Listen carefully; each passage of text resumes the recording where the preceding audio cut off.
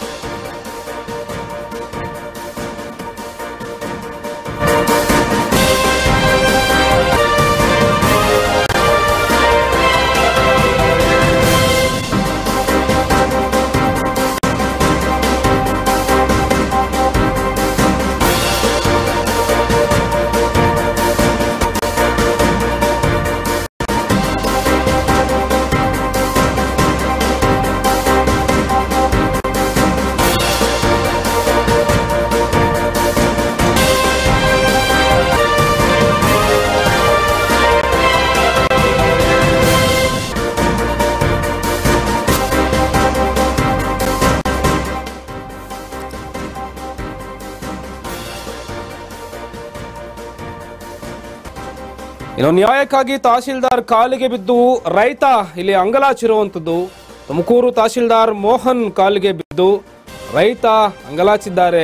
ನಾಗವಲ್ಲಿ ಮೂಲದ ಮುನಿಯಪ್ಪ ಎಂಬಾತ ತಹಶೀಲ್ದಾರ್ ಅವರ ಕಾಲಿಗೆ ಬಿದ್ದು ತಮ್ಮ ಕಷ್ಟವನ್ನು ಹೇಳ್ಕೊಂಡಿದ್ದಾರೆ. ಜಮೀನು ವಿಚಾರವಾಗಿ ಹಲವಾರು ವರ್ಷದಿಂದ ಅಲದಾಟ ಅಲದಾಟ ಮಾಡಿ ಸಾಕಾಗೋಗಿದೆ. ಸರ್ಕಾರಿ ಕಚೇರಿಗೆ ಅಲೆದು ಅಲೆದು ಬೇಸತ್ತಂತಹ ಮುನಿಯಪ್ಪ ಸರ್ಕಾರದಿಂದ ಮಂಜೂರಾಗಿದ್ದ ಜಮೀನಿಗೆ ಅಕ್ಕಪಕ್ಕದವರು ತಗಾದಿನ ತೆಗೆದಿದ್ರು. ಈ ವಿಚಾರವಾಗಿ ಜಮೀನು ಸಮಸ್ಯೆ ಬಗೆಹರಿಸುವಂತೆ ಕಂದಾಯ ಇಲಾಖೆಗೆ ಅರ್ಜಿ ಕೂಡಲೇ ಹಾಕಲಾಗಿತ್ತು.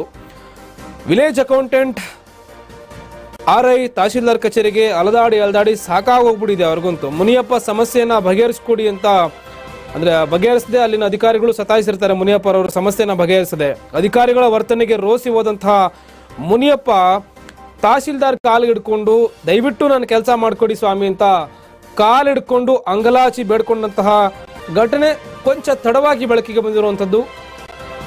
ಏನು ರೈತ ತನ್ನ ಜಮೀನಿನ ವಿಚಾರವಾಗಿ ಏನಿತ್ತು, ಒಂದಷ್ಟು ಜನ ತಕರಾರು ತೆಗೆದಿರ್ತಾರೆ. ದೃಶ್ಯಾವಳಿಗಳಲ್ಲಿ, ದಯಮಾಡಿ ಸ್ವಾಮಿ, ನನ್ನ ಈ ಒಂದು ಕೆಲಸವನ್ನು ಮಾಡಿಕೊಡಿ ಅಂತ ಅಲ್ಲಿ ತಹಶೀಲ್ದಾರ್ ಅವರ ಕಾಲಿಗೆ ಕಾಲಿಗೆ ಬಿದ್ದಿರ್ತಾರೆ. ಅವರು ಕೂಡ ಅವ್ರನ್ನ ಸಮಾಧಾನ ಪಡಿಸುವಂತಹ ಒಂದು ಪ್ರಯತ್ನ ಕೂಡ ಮಾಡಿರ್ತಾರೆ.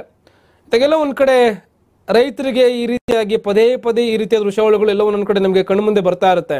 ಈ ರೀತಿಯಾಗಾದ್ರೆ ಯಾರು ಯಾರು ಇದಕ್ಕೆ ಆನ್ಸರ್ ಮಾಡ್ಬೇಕಾಗಾದ್ರೆ? ಒಬ್ಬ ರೈತನಿಗೆ ಅಧಿಕಾರಿಗಳ ವರ್ಗದಲ್ಲಿ ಆಗಿರ್ಬೋದು ಇಷ್ಟು ದಿನ ಬೇಕಾಗಿತ್ತು. ಹಾಗಾದ್ರೆ ಸಮಸ್ಯೆ ಪರಿಹಾರ ಆಗಲಿಕ್ಕೆ ಇಷ್ಟು ದಿನ ಬೇಕಾಗಿತ್ತು. ಅವಶ್ಯಕತೆ ಇತ್ತ ಇಷ್ಟು ದಿನ? ಇಷ್ಟು ದಿನ ತಗೊಳ್ಳುವಂತಹ ಅವಶ್ಯಕತೆ ಇತ್ತ ಅವ್ರಿಗೆ?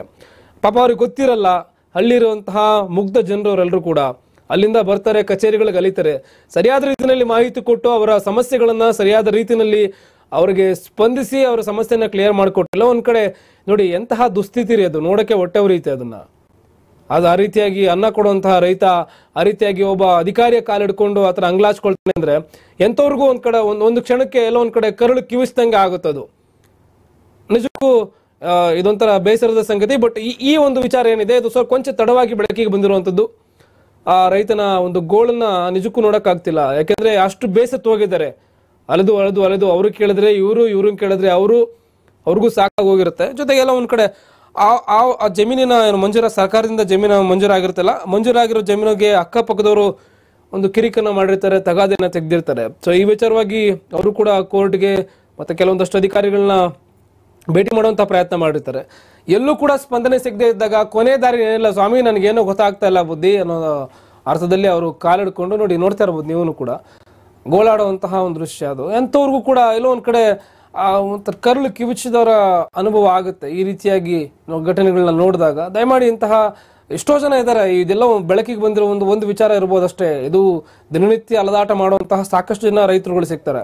ಅಂತಹ ರೈತರುಗಳಿಗೆ ಈ ರೀತಿಯಾಗಿ ಸಹಾಯವನ್ನು ಮಾಡಿದಾಗ, ಅಧಿಕಾರಿಗಳು ಕೂಡ ಒಂದು ರೀತಿ ಒಳ್ಳೆ ರೀತಿ ವರ್ತನೆಯನ್ನು ತೋರಿದಾಗ ಅಥವಾ ಅವರ ಕೆಲಸವನ್ನು ಆದಷ್ಟು ಬೇಗ ಮಾಡಿಕೊಟ್ರೆ, ಎಲ್ಲ ಒಂದು ಕಡೆ ಆ ರೈತರುಗಳು ಕೂಡ ಸಮಾಧಾನ ಸಿಗುತ್ತೆ. ಜೊತೆಗೆ ನಾಲ್ಕು ಜನ ಹೇಳ್ತಾರೆ ಹೋಗ್ರಪ್ಪ, ಇಂಥ ಕಡೆ ಒಬ್ಬ ಒಳ್ಳೆ ಒಳ್ಳೆ ಅಧಿಕಾರಿ ಇದ್ದಾರೆ ಅವ್ರು ನಿಮ್ಗೆಲ್ಲಾನು ಕೂಡ ಸಹಾಯ ಮಾಡ್ತಾರೆ, ಸರಿಯಾದ ರೀತಿಯಲ್ಲಿ ಮಾರ್ಗದರ್ಶನ ಕೊಡ್ತಾರೆ ಅಂತ. ಬಟ್ ಈ ರೀತಿಯಾಗಿ ಕಾಲಿಗೆ ಬೀಳುವಂತಹ ದೃಶ್ಯಾವಳಿಗಳು ಮುಂದಿನ ದಿನಗಳಲ್ಲಿ ಮರುಕಳಿಸಿದ್ರೆ ಒಳ್ಳೆಯದು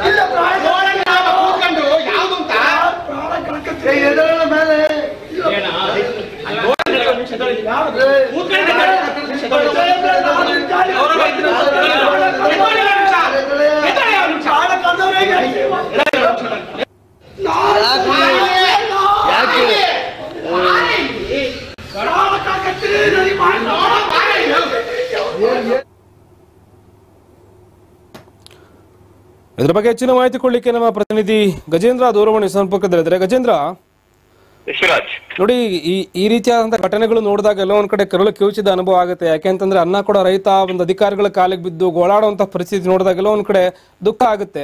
ನಿಜ ನಿಜವಾದ ಸಮಸ್ಯೆ ಸಮಸ್ಯೆ ಕಾರಣ ಏನ್ ಹಾಗಾದ್ರೆ?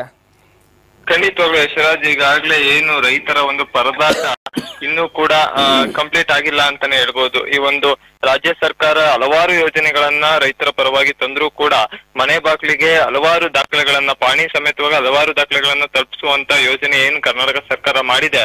ಅದು ಉಪಯೋಗಕ್ಕೆ ಈಗಲೂ ಕೂಡ ಬರ್ತಾ ಇಲ್ಲ ಅನ್ನುವಂಥದ್ದು ಒಂದು ದುರ್ದೈವ ಅಂತಾನೆ ಹೇಳ್ಬೋದು. ಯಾಕಂದ್ರೆ ಇವತ್ತು ವಿಡಿಯೋ ನೋಡ್ತಾ ಇದ್ರೆ, ಆ ದೃಶ್ಯಾವಳಿಗಳಲ್ಲಿ ನೋಡ್ತಾ ಇದ್ರೆ, ಆ ರೈತ ಎಷ್ಟು ಕಾಲಿಗೆ ಬಿದ್ದು ತಹಶೀಲ್ದಾರ್ ಮೋಹನ್ಗೆ ಅಂಗಲಾಚುತ್ತಿದ್ದಾನೆ ಅಂದ್ರೆ ಅವ್ರಿಗೆ ಎಷ್ಟು ನೋವಾಗಿರ್ಬೇಡ. ಅಂದ್ರೆ ಎಷ್ಟೋ ಕಚೇರಿಗಳಿಗೆ ಅಲೆದು ಅವನು ಎಷ್ಟು ನೋವು ಮಾಡ್ಕೊಂಡು ಕಾಲಿಗೆ ಬೀಳೋ ತರ ಮಾಡಿರುವಂತದ್ದು ಈ ಒಂದು ದೃಶ್ಯ ನಿಜವೂ ಕೂಡ ಮನಕಲುವಂತೆ ಮನಕಲ್ಕುವಂತೆ ಮಾಡುತ್ತೆ ಶಿವರಾಜ್.